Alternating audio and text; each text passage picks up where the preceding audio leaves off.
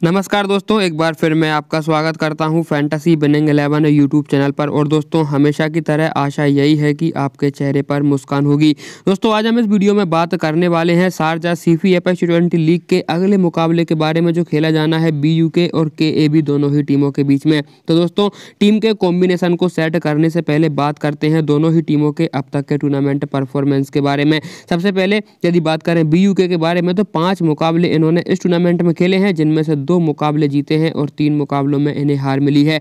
वहीं अगर बात करें के ए बी के बारे में तो पाँच मुकाबले इन्होंने भी खेले हैं, तीन मुकाबलों में जीत और दो मुकाबलों में इन्हें हार मिली है। यदि बात करें दोनों ही टीमों की टेबल रैंकिंग के बारे में तो छठवें नंबर पर बी यू के और दो तीसरे नंबर पर के ए बी की टीम यहाँ पर बनी हुई है। निश्चित तौर पर आज के मुकाबले में एक बार फिर के ए बी का पड़ला भारी रहने वाला है। दोस्तों, यदि बात करें अपन ग्राउंड रिकॉर्ड्स के बारे में तो 22 मुकाबले अभी तक इस ग्राउंड पर खेले जा चुके हैं, जो कि इसी टूर्नामेंट के रहे हैं। जिनमें से 14 मुकाबले ऐसे रहे हैं, जो कि पहले बल्लेबाजी करने वाली टीम ने जीते हैं, और आठ मुकाबले ऐसे रहे हैं, जो बाद में यानी कि चेस करने वाली टीम ने जीते हैं।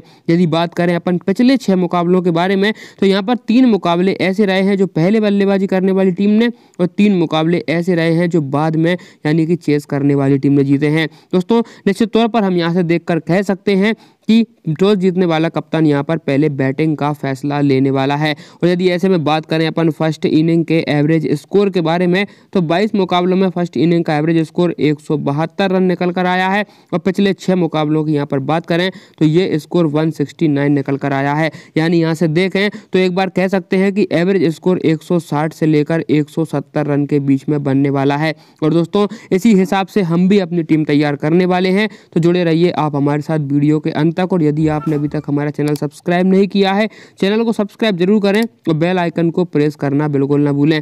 साथ ही साथ दोस्तों टेलीग्राम चैनल से यदि आप नहीं जुड़े हैं तो डिस्क्रिप्शन में आपको इसका लिंक मिल जाएगा। बड़ी आसानी से दोस्तों, आप यहाँ से हमसे जुड़ जाएँगे। दोस्तों, यहीं पर हम आपको ग्रैंड लीग और हेड टू हेड लीग की टीमें प्रोवाइड कराते हैं। साथ ही साथ तो आफ्टर टॉस जो भी इन्फॉर्मेशन आती है, वो हम टेलीग्राम चैनल पर ही आपके लिए प्रोवाइड कराते हैं।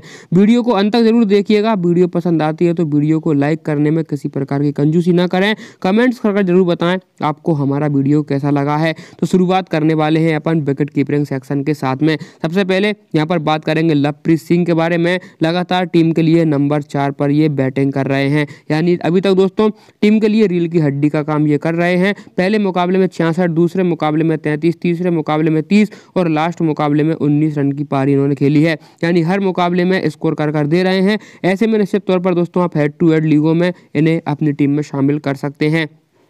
वहीं अगर बात करें दोस्तों वृत्या अरविंद के बारे में, जो कि पिछले मुकाबले में टीम ने इनको ड्रॉप किया है, लेकिन इसके पहले चार मुकाबले खेल चुके हैं और चारों मुकाबलों में टीम के लिए इन्होंने ओपन किया है। पहले मुकाबले में तीन, दूसरे मुकाबले में पाँच, तीसरे मुकाबले में तिरसठ और इसके बाद बीस रनों की पारी खेली है। दोस्तों, ये प्रॉपर विकेट कीपर नहीं है, ये थोड़ी बहुत गेंदबाजी भी करते हैं और हमें एक मुकाबले में ये बॉलिंग करते हुए देखे थे। दोस्तों, उस मुकाबले में एक ओवर फेंका है हालाँकि इनको विकेट नहीं मिला है और बचे हुए मुकाबलों में बॉलिंग नहीं की है। लेकिन दोस्तों, बता दें प्रॉपर विकेट कीपर पर ये प्लेयर नहीं है। इसके अलावा बात करेंगे खालिद शाह के बारे में तो पहले मुकाबले में नंबर तीन, दूसरे मुकाबले में चार, इसके बाद पिछले तीन मुकाबलों में टीम के लिए लगातार ओपन कर रहे हैं। और दोस्तों, यहाँ पर पाँच, सोलह और तिहत्तर रन की पारी इनके बल्ले से आई है। पिछले दो मुकाबलों की बात करें तो सात और पाँच रन की पारी इनके बल्ले से आई है। यानी देख दोस्तों, यदि इनके पुराने रिकॉर्ड्स पर नज़र डालेंगे तो काफ़ी शानदार रिकॉर्ड्स हैं, लेकिन दोस्तों, उम्मीद यही है कि आप इनको अपनी टीम में शामिल ज़रूर करें। दोस्तों, यदि आप हेड टू हेड टीम में शामिल नहीं करते हैं तो ग्रांड लीग में आप इनको ट्राई ज़रूर करें। इसके अलावा दोस्तों बात करेंगे अपन बल थापा के बारे में। दोस्तों ये ऐसा प्लेयर है जो आपको ये पॉइंट दिखाई दे रहे हैं। ये सिर्फ़ और सिर्फ़ इनके कैचिंग के पॉइंट रहे हैं। बाकी दोस्तों सिर्फ़ और सिर्फ़ ये विकेट कीपरिंग का काम करते हैं। तो ऐसे में आप इनको यहाँ से ड्रॉप कर चल सकते हैं। यदि आप स्मॉल लीग खेलते हैं तो वहाँ पर आप एक ही प्लेयर को टीम में शामिल करें। वहीं ग्रांड लीग में दोस्तों आप खालिद शाह के साथ भी जा सकते हैं। बात करेंगे बल्लेबाजों के बारे में। यहाँ पर दोस्तों काफ़ी लंबी लिस्ट है। सबसे पहले बात करें जमशेद ज़फ़र के बारे में। तो टीम के लिए दोस्तों शुरुआती मुकाबलों में मिडल ऑर्डर में ये बल्लेबाजी कर रहे थे, लेकिन पिछले ही मुकाबले में टीम के लिए इन्होंने ओपन किया है। और रनों की बात करें तो ज़्यादा रन इनके बल्ले से नहीं निकले हैं, लेकिन फिर भी एक मुकाबले में उनचास रनों की पारी खेली है। पिछले मुकाबले की बात करें तो यहाँ पर पच्चीस रनों की पारी खेली है, इसके अलावा आठ, दस और एक रन की पारी इनके बल्ले से आई है। दोस्तों, ऐसे में देखें तो आप इनको हेड टू हेड टीमों से ड्रॉप कर सकते हैं। वही अगर बात करें बकास जट के बारे में तो शुरुआती दो मुकाबलों में टीम के लिए ओपन किया है, इसके बाद दोस्तों अब मिडिल ऑर्डर में ये बल्लेबाजी कर रहे रहे हैं और पहले मुकाबले में बीस, इसके बाद छः बाईस रनों की पारी तीसरे मुकाबले में खेली थी। इसके बाद एक ज़ीरो भी इनके नाम है, वहीं सत्ताईस रनों की पारी इन्होंने खेली, यानी आप यदि यहाँ पर दोस्तों लॉजिक देखें तो एक मुकाबला छोड़कर ये स्कोर कर रहे हैं, यानी उम्मीद यही है इस लॉजिक के हिसाब से कि आने वाले मैच में ये स्कोर कर कर नहीं दे पाएँगे। लेकिन दोस्तों बता दें, ये प्लेयर आपको कभी कभी बॉलिंग करता हुआ दिखने वाला है, जैसा कि दोस्तों पिछले मुकाबले में दो ओवर इन्होंने फेंके और एक विकेट निकालकर टीम के लिए दिया है। बाकी दोस्तों, किसी मुकाबले में इन्होंने ओवर नहीं फेंके हैं। और आने वाले मैचों में उम्मीद यही है कि दोस्तों ओवर ये फेंकेंगे नहीं।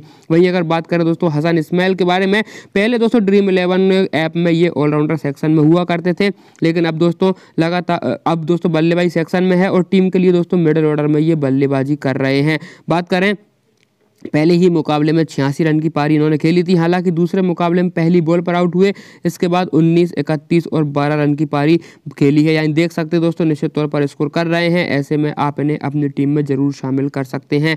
वहीं अगर बात करें दोस्तों मोहम्मद फराजुद्दीन के बारे में लगभग हर बंदे ने इन्हें अपनी टीम में शामिल किया है। दोस्तों प्रॉपर बॉलिंग ये करते हैं यानी बल्लेबाज ये नहीं है। और सबसे अच्छी बात दोस्तों पहला मुकाबला इन्होंने नहीं खेला लेकिन इसके बाद दोस्तों चार ओवर फेंके छः विकेट टीम के लिए निकाल कर दिए हैं।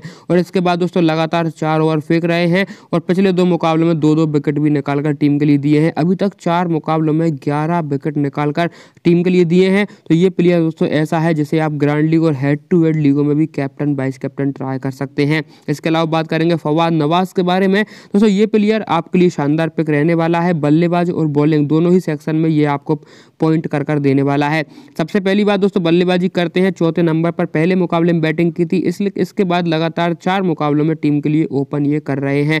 पहले मुकाबले में तीन रन बनाए थे, इसके बाद दोस्तों इकहत्तर, तीन छियासठ और पिछले मुकाबले में सैंतालीस रन की शानदार पारी खेली है। हालाँकि दोस्तों पिछले मुकाबले में इन्होंने बॉलिंग नहीं की है, लेकिन इसके पहले लगातार चार ओवर कंप्लीट कर कर ये टीम के लिए दे रहे हैं। और उसके दो शुरुआत के दो मुकाबलों में इनको विकेट नहीं मिले हैं, लेकिन दोस्तों इसके बाद लगातार दो दो विकेट टीम के लिए निकाल कर दिए हैं। लेकिन दोस्तों आपको बता दें हेड टू हेड के लिए शानदार कैप्टन और वाइस कैप्टन की भूमिका ये आपके लिए निभा देने वाले हैं। दोस्तों अब यदि बात करें अपन तैमूर अली के बारे में। दोस्तों, ये प्लेयर ऐसा है जिसको आप सिर्फ़ और सिर्फ़ ग्रांड लीग में तैयार करें। दोस्तों, जब आप इनको टीम में लें तब ग्रांड लीग क्या बहुत ज़्यादा टीमें बनाते हैं, क्योंकि ये प्लेयर दोस्तों पिछले ही मुकाबले में इक्कीस और इसके पहले सोलह रन बनाए हैं।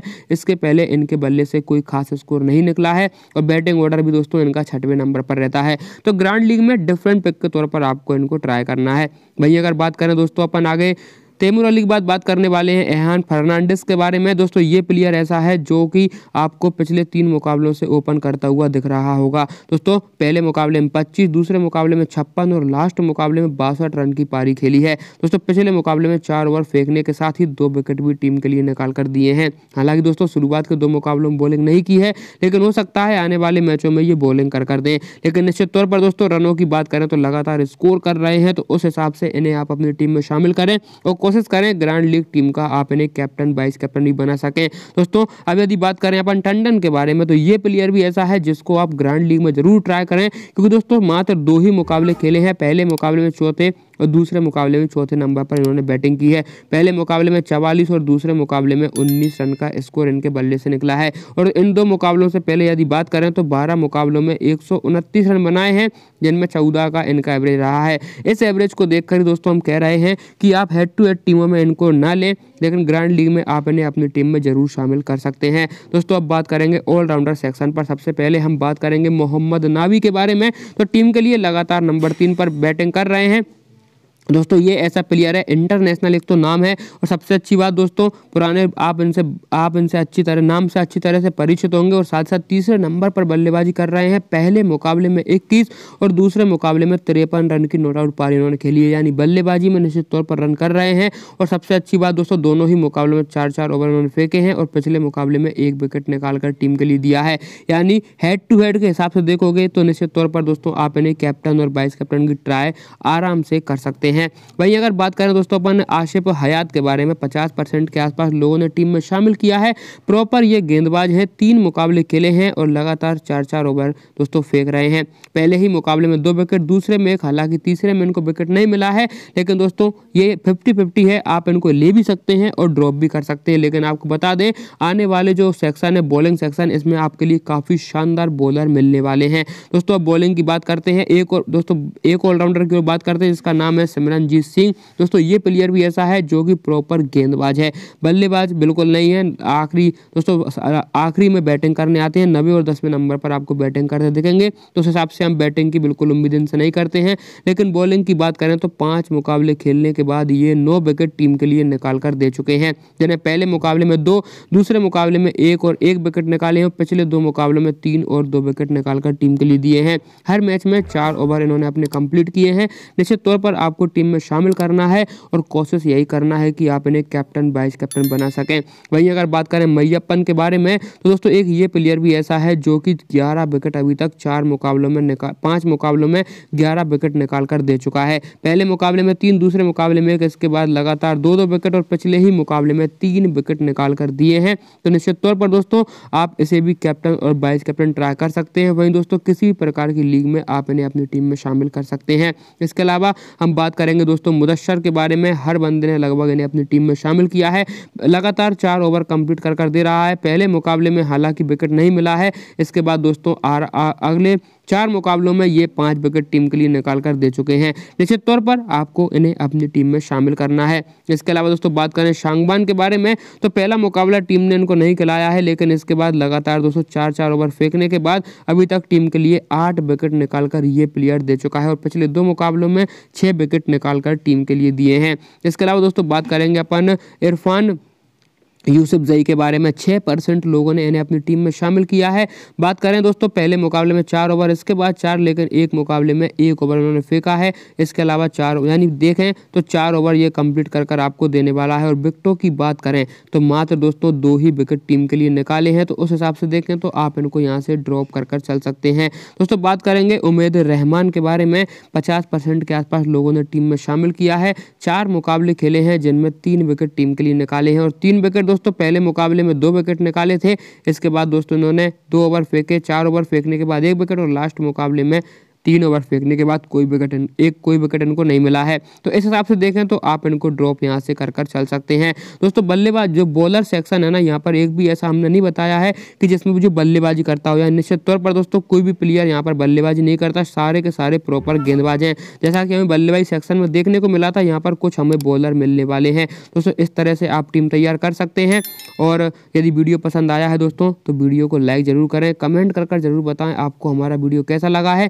चैनल पर नए हैं तो सब्सक्राइब ज़रूर करें और दोस्तों बेल आइकन को प्रेस करना ना भूलें ताकि आने वाली वीडियोस का नोटिफिकेशन आपको मिल सके। मिलते हैं अगली वीडियो में, तब तक के लिए बाय जय हिंद दोस्तों।